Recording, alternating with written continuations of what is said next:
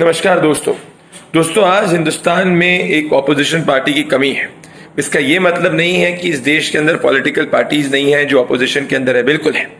पर अगर मैं आपसे पूछूँ कि इस देश की ऑपोजिशन पार्टीज़ की भले Congress, RJD NCP, Shivsena, TMC, उनका एजेंडा क्या है? एक कॉमन नेशनल एजेंडा क्या है? मैं आपको अगर एक चीज़ का बोलूँगा कि ये लोग किस मुद्दे के लिए खड़े हो रहे हैं, इनको क्यों वोट किया जाए? आप सिर्फ़ एक ही बात से इनका जवाब दे सकते हैं कि इनका पूरा का पूरा पॉलिटिक्स, जो मैंने आपको 2017 में भी कहा था एंटी मोदिज्म में बिलीव करती है एंटी बीजेपीज्म में बिलीव करती है। अब इतिहास उठा के देखिए, कोई भी पार्टी एंटी पॉलिटिक्स के अंदर सक्सेसफुल नहीं हो पाई है।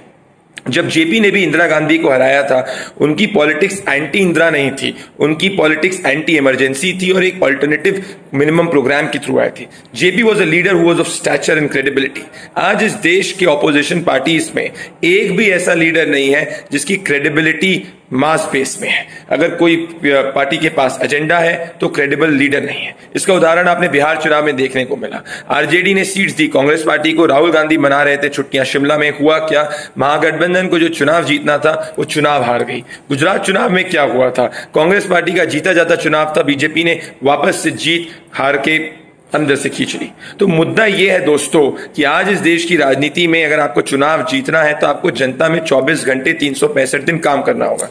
क्या इस देश की ऑपोजिशन पार्टी 24 घंटे तीन सौ पैंसठ दिन काम कर रही है, नहीं कर रही है? आरजेडी ने चुनाव हारने के बाद क्या किया? जनता को पीटना शुरू कर दिया।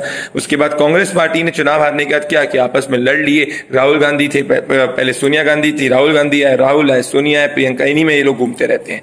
तो सवाल ये कि आज एक कोई ऐसी पार्टी नहीं है, ना कोई एक ऐसा एजेंडा वाली पार्टी है जो इस देश के जनमानस, की जनभावना को रिप्रेजेंट कर सके। भाई, इस देश के अंदर नौकरियों की समस्या, इस देश के अंदर रोज़गार की समस्या, इस देश के अंदर इकोनॉमी की समस्या ज़रूर है।